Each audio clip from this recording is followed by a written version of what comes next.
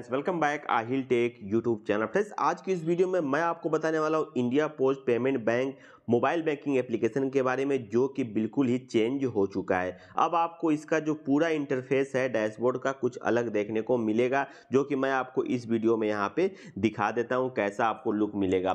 सबसे पहले गाइस आपको क्या करना है? सबसे पहले आपको प्ले स्टोर से इस एप्लीकेशन को अपडेट कर लेना है। जब आप इसको प्ले स्टोर से अपडेट कर लेंगे तो फिर आपको ये जो नया वाला लुक है, ये देखने को मिल जाएगा। जैसा कि आप यहाँ पे देख पा रहे हैं, ये कमर्शियल बैंक की तरह यहाँ पे इसका मोबाइल बैंकिंग एप्लीकेशन बना दिया गया है और अदर्स जो बड़े बैंक्स हैं उस उनके जैसा ही आपको इसका जो है कि मोबाइल बैंकिंग एप्लीकेशन देखने को मिल जाता है ठीक है? यहाँ पे थ्री लेन का जो ऑप्शन आप, आपको दिख रहा है तो यहाँ पे वही सेम है send money manage beneficiary pay bill services my profile ये सारा आपको यहाँ पे ऑप्शन देखने को मिल जाता है क्लोज मेनू के ऊपर हम क्लिक कर देते हैं।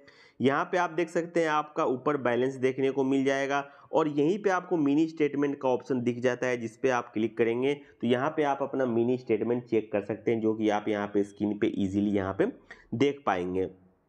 पासबुक वाले ऑप्शन पे जब आप क्लिक करेंगे तो यहाँ पे last thirty days, sixty days, ninety days और यहाँ पे एक पर्टिकुलर डेट डेट आप यहाँ पे डाल के पासबुक को यहाँ पे देख सकते हैं और इसका स्टेटमेंट भी डाउनलोड कर सकते हैं। ये भी ऑप्शन आपको यहाँ पे देखने को मिल जाता है, ठीक है? तो यहाँ पे रिसेंट ट्रांजेक्शन जो है वो आपको देखने को मिल जाता है।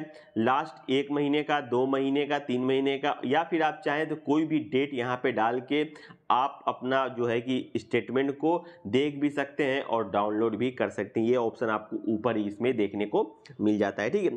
फंड ट्रांसफ़र की बात करें तो आपको विद इन आई यानी कि इंडिया पोस्ट पेमेंट बैंक से ही अंदर में ही आप अगर आप फंड ट्रांसफ़र करना चाहते हैं तो ये आपको यहीं पर मिल जाता है। अदर बैंक्स के लिए भी आपको ऑप्शन इसमें देखने को मिल जाता है। अदर बैंक्स में भी आप यहाँ पर पैसे ट्रांसफ़र कर सकते हैं। ये ऑप्शन आपको ऊपर सबसे पहले आपको देखने को मिल जाता है।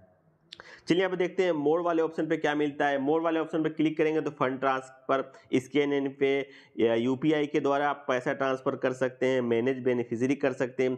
ये सब आपको यहाँ पे देखने को मिल जाता है। ऊपर वाला जो फंड ट्रांसफ़र है, ये तीन ऑप्शन जो दिया है, इसमें ही आपको ये देखने को मिल जाता है। यूपीआई सर्विसेज़ की बात करें तो आपको फंड ट्रांसफ़र के बाद नीचे आपको यूपीआई सर्विसेज़ का ऑप्शन मिल जाता है, जिससे आप पैसे यूपीआई से भेज सकते हैं, किसी को रिक्वेस्ट कर सकते हैं हिस्ट्री चेक कर सकते हैं और क्यूआर कोड को स्कैन करके भी आप यहाँ पे पे कर सकते हैं या फिर आप पे कोई रिक्वेस्ट किया है तो आप वहाँ से अप्रूव करके उसे पेमेंट कर सकते हैं। ठीक है? ये भी आपको ऑप्शन यहाँ पे देखने को मिल जाता है। ठीक है? यहाँ पे आप अपने यूपीआई को मैनेज कर सकते हैं, यानी कि अपने यू पी को आप मैनेज कर सकते हैं यूपीआई को ब्लॉक और अनब्लॉक कर सकते हैं कंप्लेंट भी आप यहीं से कर सकते हैं। ये वाला ऑप्शन भी आपको यहाँ पे देखने को मिल जाता है यू सर्विसेज़ में, ठीक है?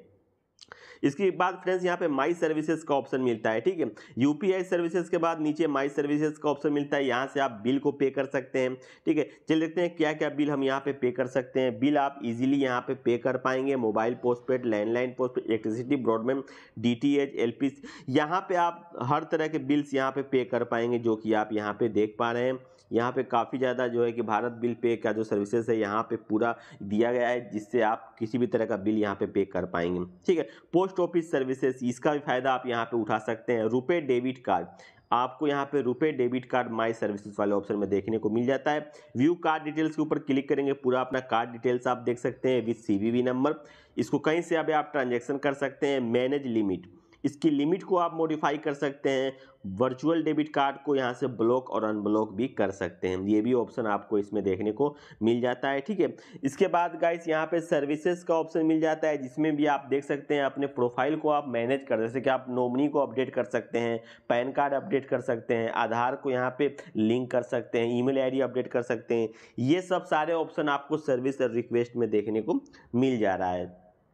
इसके बाद फ्रेंड्स, यहाँ पे नीचे हम आएँगे तो यहाँ पे ऑल अकाउंट्स वाले ऑप्शन पे क्लिक करेंगे तो यहाँ पे आपको ऑल अकाउंट्स देखने को मिल, जितने भी आपके अकाउंट्स हैं सेम सी आई एफ़ पे आपको ऑल अकाउंट्स यहाँ पे देखने को मिल जाएँगे। या फिर आप रिक्वायरिंग डिपॉजिट या फिर फिक्स डिपॉजिट किए होंगे तो वो भी आप यहाँ पे इजिली देख पाएँगे। ठीक है?